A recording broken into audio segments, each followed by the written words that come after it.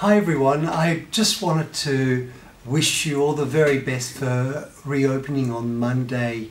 You've had eight weeks off and you've probably had time to do a lot of new things in the salons. Uh, I know some have repainted and uh, rearranged the furniture.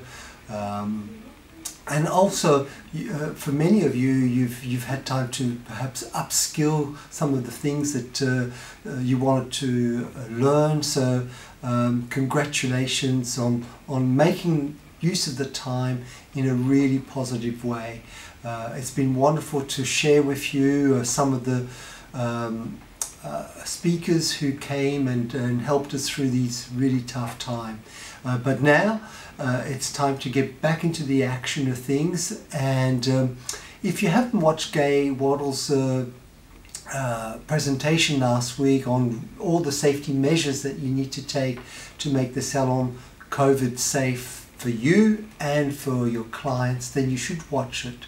Uh, but I remember her saying, you know, you should. This is the right time to up your prices, uh, maybe five, ten dollars, uh, because first of all, you're going to have lots of extra costs of you know the, the, the linen, the uh, the sheets, and uh, all the, the preparation of the room. Also, you you know you can't sort of have one client coming one after the other. You've got to have some time to prepare the room, clean things out, so there's no overlapping. So there's quite a lot of things that you need to do differently, and and everybody will understand that uh, your prices have gone up uh, to to match those changes.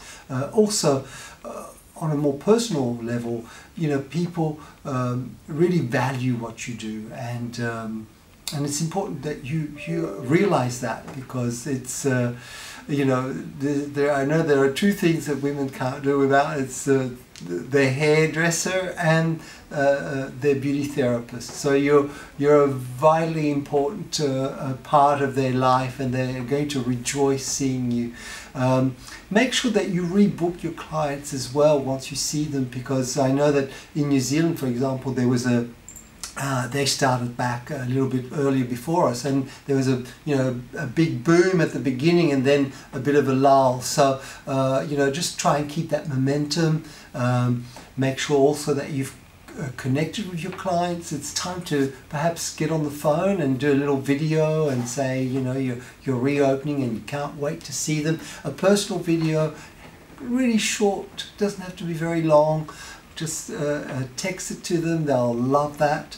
Um, so yeah there's lots of things uh, that uh, uh, you you probably need to prepare for for Monday. We're going to uh, work on some documents just to make sure that everything's in writing and we should have that ready by Monday as well.